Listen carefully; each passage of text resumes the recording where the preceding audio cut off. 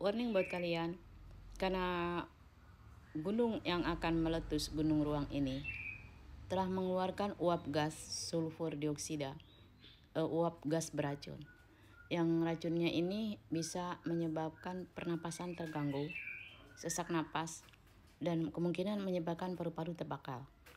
Jadi untuk wilayah Kalimantan, uh, Sulawesi di lokasi di mana gunung itu sekarang sedang erupsi, racun gas ini menyebar bisa mematikan buat lingkungan sekitar.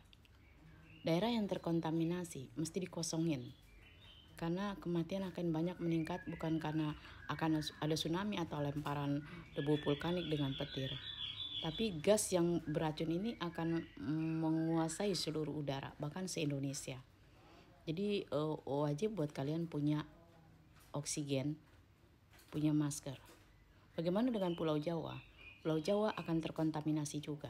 Inilah yang disebut pengenapan nubuatan dengan dukun di mana ada udara yang akan mematikan beberapa kaum tertentu melalui udara ini. Bukan hanya terjadi sesak napas, tapi menyebabkan paru-paru seperti terbakar meradang. Tubuh bisa menjadi gosong, jadi seperti pembakaran dari dalam. E, racun gas ini sangat mematikan dan e, semakin tinggi intensitas pergerakan api vulkaniknya, e, apalagi nanti gunung-gunung semua gunung, semua masyarakat akan membutuhkan oksigen dan masker.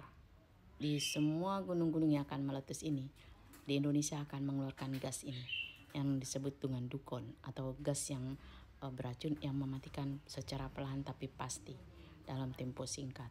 Jadi ayo kita mulai simpan banyak oksigen, tabung oksigen, hmm, kemudian pas selalu pakai masker mulai hari ini, khususnya di wilayah Sulawesi, pinggirannya Kalimantan dan uh, Pulau Jawa di bagian tengah.